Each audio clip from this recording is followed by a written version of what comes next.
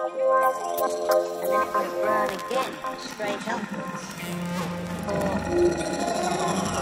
Take